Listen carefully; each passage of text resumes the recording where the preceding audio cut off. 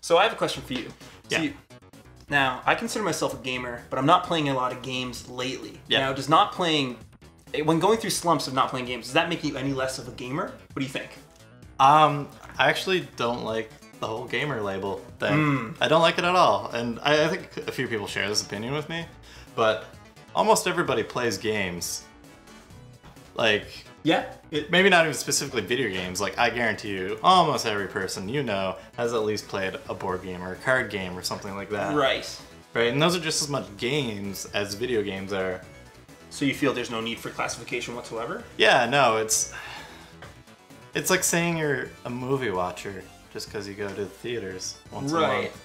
Right? It's just kind of silly. It's just something that's like normal for culture now. So I don't think we Hmm. should define people by being gamers. Right. Um, I, dec- I definitely understand like wanting to label like subcultures Mm-hmm. within the what we normally call gamers now. yeah. Um, but you know, doing stuff like that, like oh, he's like hardcore gamer, like right. It's and stuff like that, or like a mobile gamer. in most cases. Yeah. it really is. And uh, most cases I've seen it used is kind of in a negative sense, like people saying, "Oh, you're not a true gamer." What Yeah. the fuck do you know?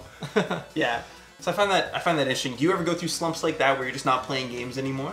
Honestly, I think when I was in university, I went through like a year and a half where I didn't play a new game Wow. at all, and I only very rarely played like Dark Souls games, Dark Halo. Souls, Yeah. and yeah, barely touched Halo either, which is a game I Wow, love. that's weird. Um, barely touched WoW, which is a game that's really easy to just like lose Yeah. yourself in. Like I just didn't play games because I just wasn't like interested in playing them. Yeah. But like I was going to school to learn how to make them. Like I still had interest in games, and I still like kept up on all the news and stuff. Yeah, you just can't. It's it's a time commitment. It's a very large time commitment. yeah, yeah. Um, but I still find that when I'm not playing games, I'm still really interested in games media, even games I Yeah. don't care about. Like I still like knowing things about the division. Yeah, I'm me never gonna touch it. Nope. I just I, I'm interested in that. So I really uh, yeah. So I'm totally with you. I think we should try and abolish the whole gamer thing. yeah. Though I, I, I do think there should be some clarification between a grandmother that plays Fruit Ninja every once in a while, and you know what I mean, someone who's sunk like five thousand hours into World of Warcraft. There should be Yeah. some type of differentiation. Yeah, there's a differentiation there.